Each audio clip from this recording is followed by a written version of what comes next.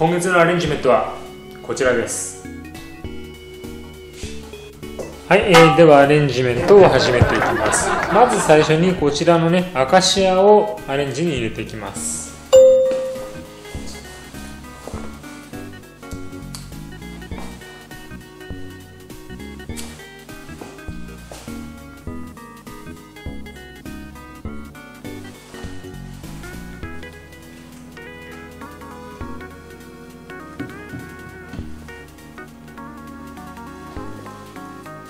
えー、でこちら今ねこのアカシアのこのトゲというかねこの枝の部分をフォームに刺しました、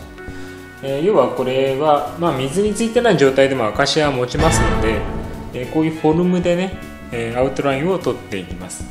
えこういう要するにフォームにアカシアを刺さないことによって、えありえないこう形というかそういうものが出来上がってきますね、えそういうものもえー、水をつけなくても良いものに限り有効な手段となります。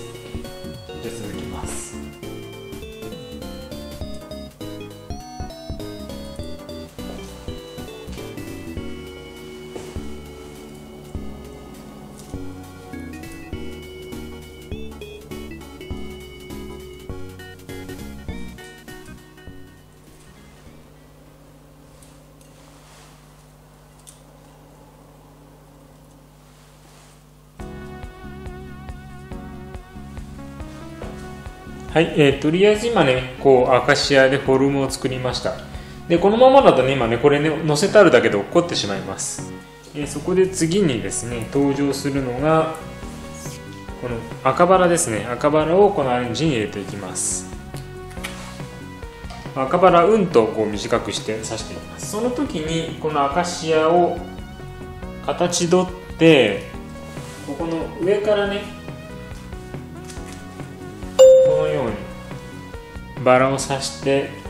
アカシア自体をこう止めていきますね。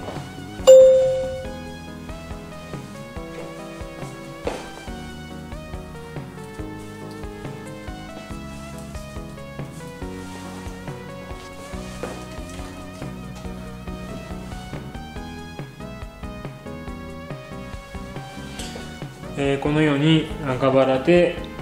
アカシアを止めていきます。はい、えー、では次にこのねガルピニを同じように短くして刺していきます。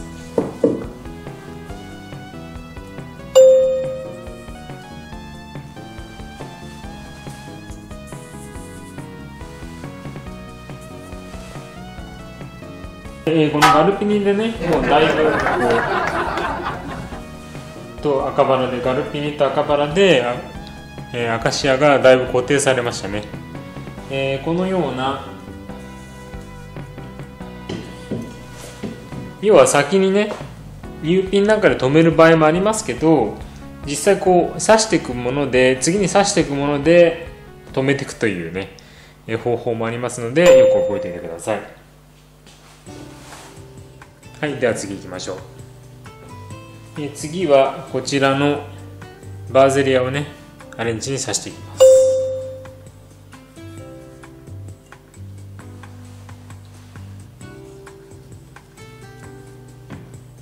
これも似たような今までと似たような手法ですね。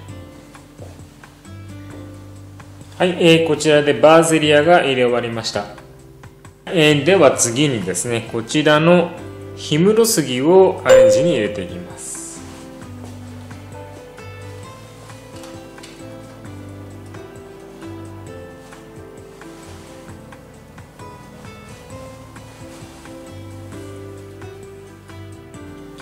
はい、えー、こちらで氷室杉が入れ終わりました。次にこちらのブルーファンタジアを入れていきます。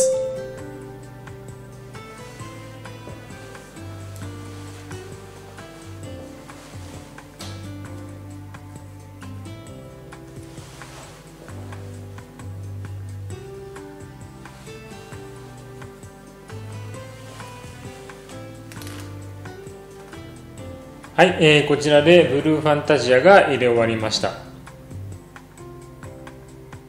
はい、えー、ではですね、えー、こちらのレックスベコニアを入れていきます